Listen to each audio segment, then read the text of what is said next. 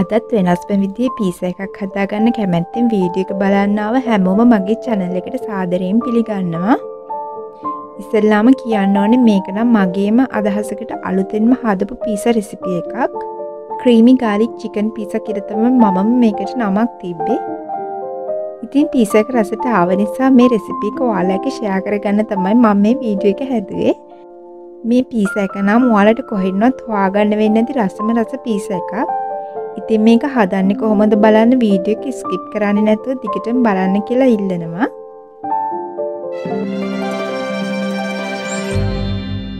ඉතින් මේ වගේ රසම රස ඒ වගේම වෙනස් රෙසිපි කියන මගේ channel එක හොඳයි කියලා හිතෙනවා නම් මෙස්සල් අරෝමා මගේ YouTube channel එක subscribe කරන්න අමතක කරන්න එපා. දැන් අපි බලමු පීසා එක හදාගන්න විදිහ. මුලින්ම පීසා ඩෝ එක හදාගන්න ඕනේ. ඒකට ඉස්සල්ලාම පිපුම් කාරකය ඇක්ටිව් කරගන්න ඕනේ. ඊස්තේ හැඳි එකක් එක්කල සීනිතේ හැඳි එකක් එකතු කරලා උනුවතුර මේස හැඳි පහක් එකතු කරගෙන මේ ටික කලවම් කරගන්න. ඊට පස්ස විනාඩි දහයක් වගේ මේක ඇක්ටිව් වෙන්න තියාගන්න. මේ තියෙන්නේ හොඳට ඇක්ටිව් වුණු ඊස් ටික. ඊට පස්ස පිටිග්‍රෑම් දෙසීයක් කරගෙන හොඳට ඉඩ තියෙන පාජනයකට දාගෙන ඒකට ඇක්ටිව් වුණු ඊස්ට් බටර්තේ හැඳි එකක් අවශ්‍ය ප්‍රමාණයට ලුණුකුඩු එකතු කරලා මද රස්නි උණුවතුර එකතු කරන ගමන් මේ ඩෝ එක සොෆ්ට් වෙනකල් එක දිගට විනාඩි 15ක් වගේ අනාගන්න. මේ ඩෝ එක සොෆ්ට් වෙනකොට අතට වෙනම දැනෙනවා. එතකල් මේක අනාගන්න ඕනේ. මේ ඩෝ එක හොඳට සොෆ්ට් වුණාට පස්සේ අපි මේක විනාඩි 45ක් වගේ ප්‍රමාණයක් වහලා පිපෙන්න තියාගන්න ඕනේ.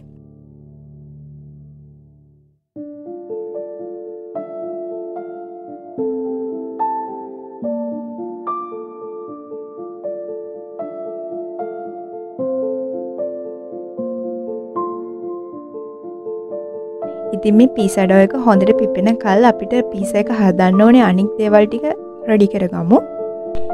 ඉස්සල්ලාම ගාලි ක්‍රීම් එක හදාගමු. ඒකට මම ලොකු සුදුලූුණු ගෙඩි එක හමාරක ප්‍රමාණයක් ගත්තා. මේ සුදුලූන් ටික හොඳට සුද්ධ කරලා සෝදර පිරිසිදු කරගන්න. ඊළඟට අපිට අවශ්‍ය කරන්නේ බටර්ග්‍රෑම් හතලියක් සහ හදාගත්තු කිරිපිටි. මම මේ කිරි එක හදාගත්ත කිරිපිටි පවුඩර් එකින්. කිරිපිටි පවුඩර් මේස හැඳි එක හමාරකට වතුර අඩු කෝප්ප දෙකක් එකතු කරලා තමයි මේ කිරි එක හදාගත්තේ. මේ ගාලි ක්‍රීම් එක හදාගන්න ඉස්සල්ලාම් පෑන් එකක් කරගෙන හොඳට රත් වෙන්න තියාගන්න. අඩු ගින්දරේ තමා මේක රත් වෙන්න තියාගන්න ඕනේ. ඊළඟට අපි ගත්තු බටර් ටික මේකට දාගන්න. ඒක හොඳට තියවීගෙන එනකොට ඒකට පිරිසිදු කරගත්ත සුදුලූන් ටික එකතු කරගන්න. ඊළඟට මේක බටර් එකේ ෆ්‍රයි වෙන්න පොඩි වෙලාවක් තියලා මේකට අර හදාගත්තු කිරිපිටි වලින් භාගයක් එකතු කරගන්න. ඊට පස්සේ භාජනය වහලා අඩුමඩු ගින්දරේ මේ සුදුලුණු ටික තැම්බෙන්න දෙන්න. විනාඩි 10කින් විතර බලද්දි මේ කිරි ටික ඉදිලා සුදුලුණු ටික තැම්බිලා තියෙනවා. ඒකට මාරි ඉතුරු කරගත්තු කිරි භාගේ එකතු කරගන්න. එතකොට මේ සුදුලුණු ටික හොඳට තැම්බෙනවා ඊට පස්සේ මේක හොඳට ක්‍රීමි පේස්ට් එකක් වෙනකල් හොඳට බ්ලෙන්ඩ් කරගන්න. මේ තමා අපි හදාගත්තු ගාලික් ක්‍රීම් එක. ඊට පස්ස පිසකට අවශ්‍ය කරන ටොමැටෝ පේස්ට් එක හදාගමු. මේකට තකලි සෝස් ග්‍රෑම් හැටක් එකතු කරගත්තා. ඒකටම තව කෑලිමිරිස් තේහැඳි කාලක් එකතු කරගෙන හොඳට කලවන් කරගත්තා. කැමතිනම් පමණක් ගම්මිස්කුට තේහැඳි කාලක් එකතු කරගන්න. මම මේකට ගම්මිරිස්කුඩු පාවිච්චි කරේ නැහැ. ඊට පස්ස මේටික හොඳට කලවම් කරගන්න. විනාඩි හතලිස් පාකට පස්සේ ආයෙත්තර පිපෙන්න තියාගත්ත පිස ඩෝය කරගෙන ආයෙත් හොඳට නීට් කරගන්න. හොඳට නීට් කරගත්තර පස්සේ පැෑ භාගක කාලයක් ආයෙත් මේක පිපෙන්න තියාගන්න.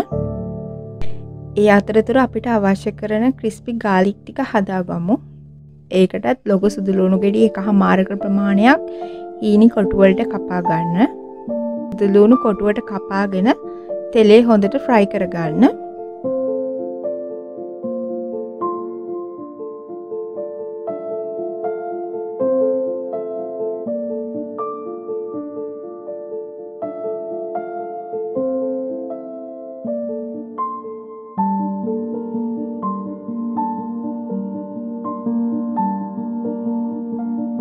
ඊළඟට අපි චිකන් ටික හදාගමු.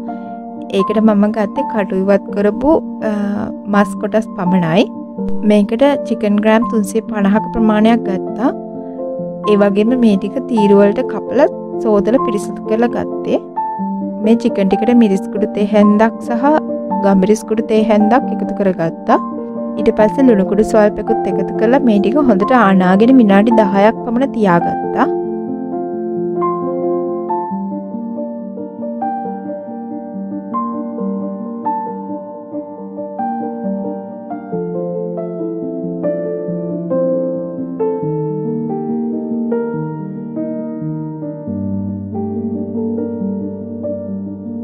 ඊළඟට තෙල් ස්වල්පයක් පෑන් එක තිල රත් කරගෙන මේ ටික පෑන් එකට දාලා හොඳට බැදගන්න.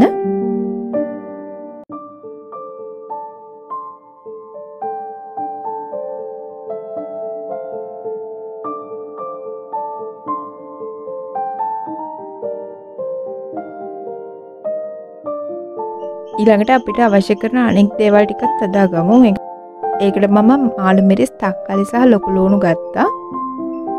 ඒවා ඔක්කොම රවුන් හැඩයට කපා ගත්තා.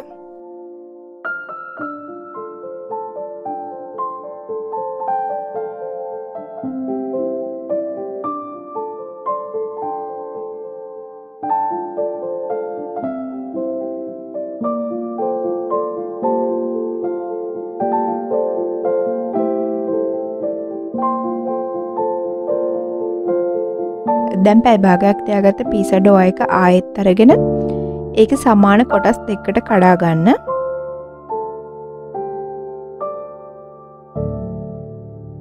ඊළඟට මොසරල්ල චීස එකත් හීනියට වෙන ග්‍රේඩ් කරගත්තා.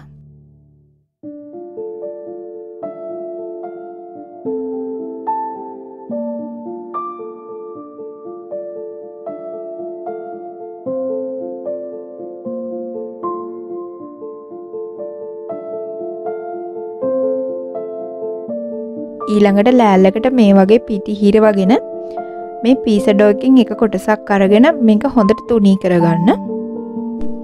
මං මේකට අවන්න එකක් පාවිච්චි කරන්න නැතිව ලිපේ පෑන් එකේ හදන විදිය තමයි කියලා දෙන්නේ. ඉතින් මේක පීස එක හැඩයට මේ වගේ හොඳට තුනී කරගන්න. ඊළඟට පීස එක හදන පෑන් එක අරගෙන ඒකට මේ තුනී කරගත්ත ඩෝ එක දාලා ඒක වටේට ධාරය හදාගන්න. ඊළඟට පෑන් එකේ තියලා මේ වගේ පිස්සා එකේ හැඩයට මේ වගේ තුනී කරගන්න. ඊළඟට අර අපි හදාගත්තු ගාලි ක්‍රීම් එකෙන් කොටසක් මේක අතුරුව ගන්න.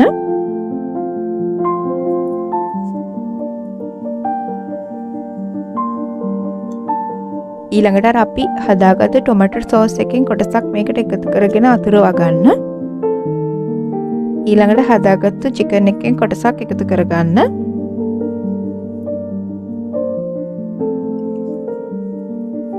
ඊට පස්සේ ග්‍රේඩ් කරගත්ත මොසරලා චීස් එක එකතු කරගන්න.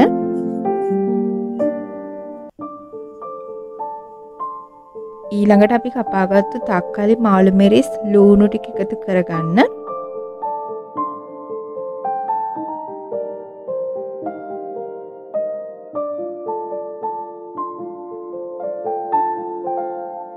අන්තිමේට මර ක්‍රිස්පි වෙන්න බැදගත්තු සුදුරෝන් ටික එකතු කරගන්න. ඊළඟට අඩුමඩු ගින්දරේ මේක පෑ භාගයක් වහල බේක් වෙන තියාගන්න. මම ගත්ත ප්‍රමාණවලින් පොඩි පෑන් එකේ පීස දෙකක් හදාගන්න පුළුවන් වුණා. එතකොට එකක් කඩේගන්න මීඩියම් පීස සයිස් එකේ සයිස් එකට තම හැදෙන්නේ. මේක බේක් වෙනකොට ගොඩාක් සූදර දැනෙනවා. මොකද මේක හොඳට ගාලික් එකතු කරලා තියෙන්නේ. ඒවගේම ගොඩක් රසයි. මේ පීස එක බේක් කරන්න කලින් ගෙදර ඔලිවෝයිල් ටිකක් තියෙනවා නම් මේ පිස එකේ එජ් එකේ හොඳට ගාගන්න. එතකොට මේ පිස එකේ එජ් එකත් හොඳට රොන්වන් පාට වෙනකල් බේක් වෙනවා. වැඩි මුදලක් කියදන් වෙන්න ඇතුව රස්ම රස පිස එකක් ගෙදරදීම එතකොට ඔයාලට හදාගන්න පුළුවන්.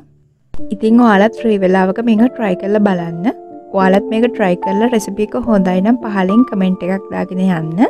ඔයාලට මොනොහල් ප්‍රශ්නයක් තියෙනවනම් පහලින් කමෙන්ට් එකක් දාන්න මම අනිවාරෙන් රිප්ලයි කරනවා.